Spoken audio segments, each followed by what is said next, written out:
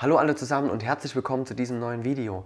Heute geht es um Porträts am Fenster, wie man das Ganze ohne Hilfsmittel und mit einfachen Hilfsmitteln ein bisschen aufwerten kann. Dieses Video ist ein Teil von einer Videoserie. Das heißt, ich werde dir noch ein paar andere Sachen zum Thema Porträtfotografie zeigen. Ihr habt euch das gewünscht, ihr habt mir gerade bei dem Video von der EOS 200D eine ganze Menge drunter geschrieben.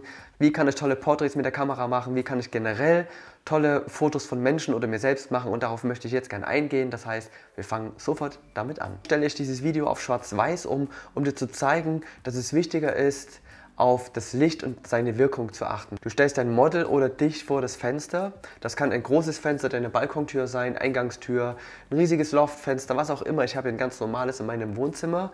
Das ist eine ganz normale Standardgröße und äh, damit fangen wir auch schon an. Achte auf das Licht, wie es fällt. Das heißt, bei Sonnenlicht hast du natürlich ein anderes Licht im Sinne von, es ist härter in deinem Gesicht und es hat eine andere Farbgebung als bei Bewölkung. Das zweite ist natürlich immer das Thema, wenn du irgendetwas davor hängen kannst, wie zum Beispiel in der Gardine oder ein Rollo, wie hier in meinem Fall, dann kannst du das Licht auch nochmal ganz anders steuern und kannst also festlegen, soll es sehr weich oder sehr hart auf das Gesicht von einem Model oder dir fallen. In diesem Augenblick ist es bei mir draußen bewölkt und mein Wohnzimmerfenster habe ich hier noch einmal mit einem Rollo versehen. Das heißt, ich kann ja bewusst steuern, wie das Licht hier reinfällt. Also wenn ich alles zumache und diese Lamellen geschlossen sind, dann fällt es relativ weich auf meine Haut, weil das Licht nochmal sozusagen diffusiert wird und nicht von draußen so einfach durch das Glas auf meine Haut treffen kann. Das sieht anders aus. Ich zeige dir das jetzt mal und zwar lasse ich jetzt mal das Rollo nach oben und du siehst, dass hier sozusagen sogar mit ein bisschen Restsonne das Ganze viel härter auf mein Gesicht fällt.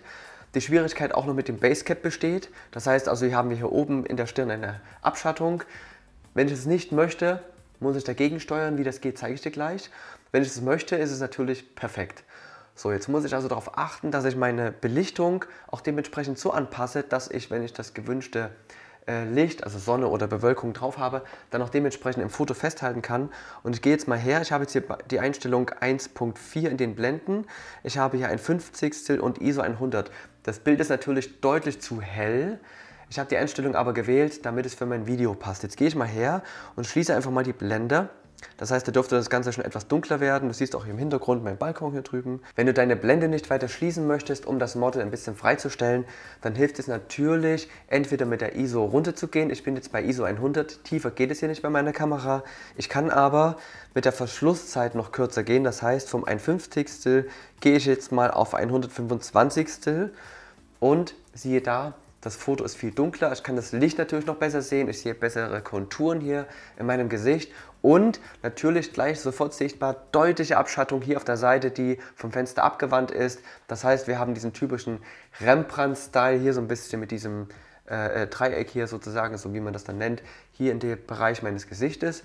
Und also das ist ein bisschen der Look, den viele haben wollen. So dieses auf der einen Seite relativ hell, auf der anderen Seite schon noch erkennbar, dass hier das Auge sozusagen ein bisschen auf die Wange gesehen wird. Geh mal zurück auf ein Fünfzigstel, da ist es wieder deutlich heller.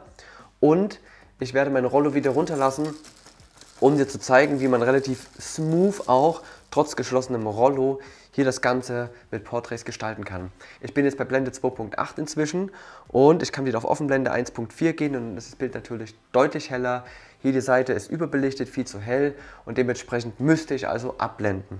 Wenn du jetzt sagst, ich möchte aber diesen hellen Look am Fenster haben, ja, und es darf ruhig hier zu dieser anderen Seite relativ dunkel und relativ schnell dunkel werden, ähm, dann passt das schon so weitestgehend von den Einstellungen. Wenn du jetzt aber sagst, ich möchte so ein bisschen hier noch zeigen, dass das Ganze plastisch ist, also zum Beispiel der Hinterkopf, die Ohren oder einfach die andere Gesichtshälfte ein bisschen heller machen, dann hilft es natürlich äh, mit Hilfsmitteln in dem Fall zu arbeiten. Ich habe zum Beispiel hier ein LED-Licht, das könnte ich jetzt hernehmen und von der anderen Seite so gegenleuchten. Da muss man immer aufpassen, dass die Farbtemperatur stimmt. Das heißt, wenn die Sonne von draußen kommt und äh, da ein warmes Licht erzeugt wird und ich hier drin mit LEDs arbeite, die relativ kühl sind, müsstest du entweder bei dem LED-Scheinwerfer äh, die Kelvin-Zahl dementsprechend anpassen, indem du in wärmere Einstellungen gehst oder Du sorgst dafür, dass du deine Kamera am Weißabgleich so einstellst, dass das Ganze passt. Es ist tricky, wenn die Sonne von draußen kommt mit dem relativ warmen gelben Licht und du von drinnen mit einem kühlen Licht arbeitest. Da musst du warten, dass es entweder bewölkt ist, wenn du die Fotos machen möchtest, oder du setzt irgendeinen Gelfilter vor die LEDs. Was du auch machen kannst, ist natürlich das Ganze mit einem Blitz aufzuwerten. Das heißt, von der Seite einfach einen Blitz positionieren und dementsprechend dann die Seite anzublitzen. Das ist, finde ich, mehr tricky als mit dem LED-Licht, weil der Vorteil ist hier bei einem Dauerlicht, du kannst live aussehen, wie die Einstellung aussieht, wie das fertige Foto aussieht. Du siehst das, wenn ich mich hier drehe, du hast hier wunderbar sofort die Wirkung vom Licht sozusagen im Foto drin. Du siehst sofort eigentlich, wie das fertige Bild aussieht. Oder du sagst, ich investiere mal 20, 30 Euro in einen Reflektor und ich habe zum Beispiel einen ganz günstigen von Valimax, äh, den habe ich selbst gekauft, nicht gesponsert bekommen. Und den setze ich relativ häufig ein, gerade auch bei Paar-Shootings oder bei generellen Portrait-Shoots. Ähm, und da kann man den so toll auch positionieren. Also entweder hält ihn jemand oder das Model macht das selbst, wenn es geht um hier dementsprechend auch so ein bisschen die andere Gesichtshälfte aufzuhellen. Also du siehst, das ist alleine natürlich ein bisschen tricky, klar. Also wenn das jemand für dich macht, ist das umso besser. Aber wenn ich das ein bisschen so halte, ja, da kann ich auf jeden Fall schon nochmal mit dem Licht auch hier arbeiten, was von draußen reinkommt. Anders ist es natürlich, wenn du das Ganze von unten machst.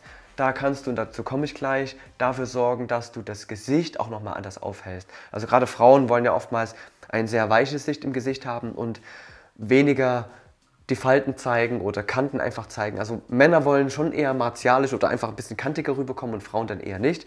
Und dementsprechend solltest du auch darauf achten, wenn du jetzt deine Freundin zum Beispiel fotografierst, dass sie sehr wahrscheinlich anders abgebildet werden möchte als ein Kumpel oder äh, jemand, der vielleicht Sportler ist und sagt, ich möchte ziemlich coole Sportporträts haben. Wenn du weder einen Blitz noch ein LED-Licht oder einen Reflektor zu Hause hast, dann hilft auch etwas ganz Einfaches, wie zum Beispiel ein Taschentuch, was ich gerade bei meinem Schnupfen gebrauchen kann.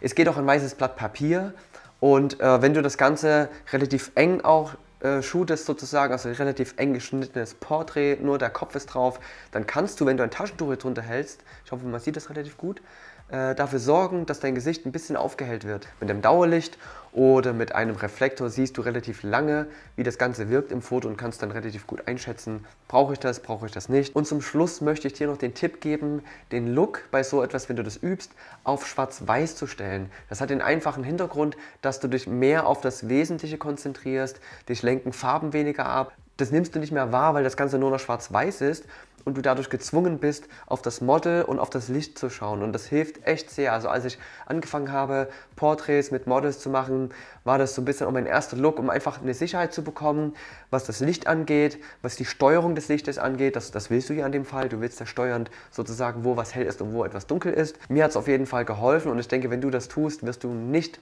falsch beraten sein. In der nächsten Folge werde ich dir dann zeigen, wie das Ganze mit Blitz gut kombiniert werden kann und wie du drinnen mit Blitz bzw. Dauerlicht, also solche LED-Sachen hier, ja, auch schon sehr coole Porträts machen kannst. Ich hoffe, das Video hat dir gefallen und ich hoffe, du konntest ein bisschen Gefühl dafür bekommen, äh, wie du drinnen mit wenig Equipment und wenig Aufwand schon tolle Porträts erstellen kannst. Wenn ja, lass mir gerne ein Abo hier. Ansonsten schreib mir vielleicht gerne in die Kommentare, was du anders machen würdest oder was dich dazu bewegt und was deine Fragen sind. In diesem Sinne, vielen Dank fürs Zuschauen. Bis zum nächsten Mal. Tschüss.